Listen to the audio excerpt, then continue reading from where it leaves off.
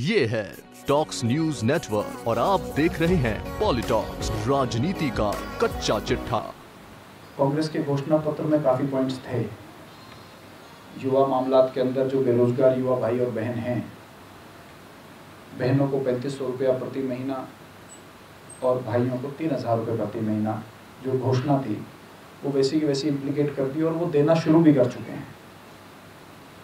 Sports के अंदर Congress party के घोषणा पत्र में था।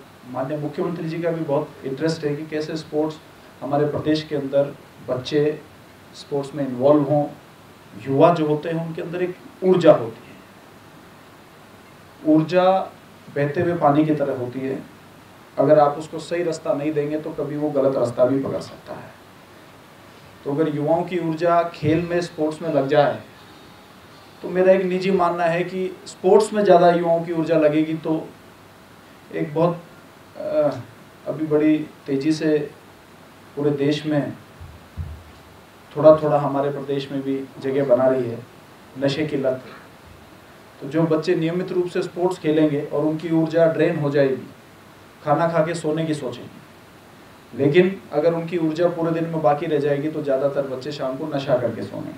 तो हमारा एक ये क्राइटेरिया भी कि स्पोर्ट्स जितना ज़्यादा अभी प्रदेश लेवल पर हमारा अभी कल ही समर कैंप कंप्लीट हुआ इसको कैसे जिला और ब्लॉक लेवल तक लेकर जाएँ और पूरे राजस्थान के अंदर हर गांव-गांव के बच्चे को खेलने का अधिकार मिले इसके ऊपर काम हो रहा है। हमारी घोषणा के अंदर था कि हम स्पोर्ट्समैन को स्कॉलरशिप देंगे कांग्रेस पार्टी घोषणा पत्र।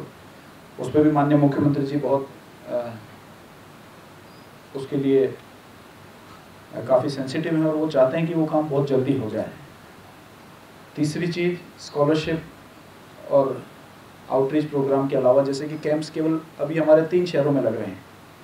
माउंट आबू बांसवाड़ा और जयपुर तो ये कैंप्स तीन शहरों में ना लग के सभी ब्लॉक लेवल तक कैसे पहुँचे? 404 ब्लॉक्स हैं। वहाँ तक कैसे पहुँचे?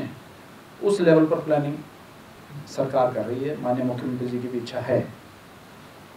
तीसरा हमारे प्रदेश के अंदर बहुत प्रतिभाएँ हैं। काफ़ी प्रतिभाओं को, काफ़ी खिलाड़ियों को ऐसी इंजरी हो जाती है जिसको उनको पता नहीं होता कि ट्रीटमेंट कहाँ होना चाहिए। और सत्तर प्रतिशत हमारी प्रतिभाएँ पीक करने से पहले ही आउट हो जाती हैं, क्योंकि इंजरी को वो हील नहीं करा पाते।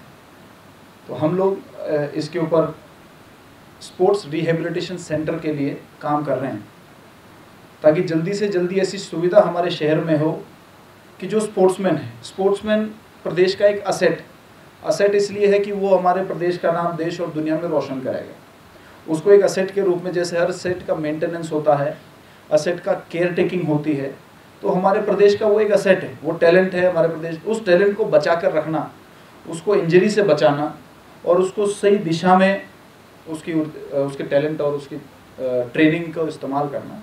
रिहेबिलिटेशन सेंटर का भी हम लोग प्लानिंग कर रहे हैं। ये तीन आइडियाज़ के ऊपर हम लोग ज़्यादा चर्चा स्पोर्ट्स डिपार्टमेंट के अंदर कर रहे हैं।